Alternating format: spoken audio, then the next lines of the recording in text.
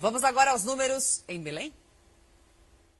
Edmilson Rodrigues lidera com 36% e Priante tem 21%. Os dois estariam no segundo turno. Tiago Araújo tem 9%, delegado federal Eguchi, 8% e Vavá Martins, 7%. Cássio Andrade e Gustavo Seffer têm 3% cada um. Mário Couto, Jair Lopes e Guilherme Lessa aparecem com 1%. Brancos e nulos são 6%.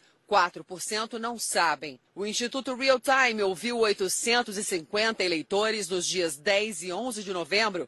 A margem de erro é de 3 pontos e o nível de confiança de 95%.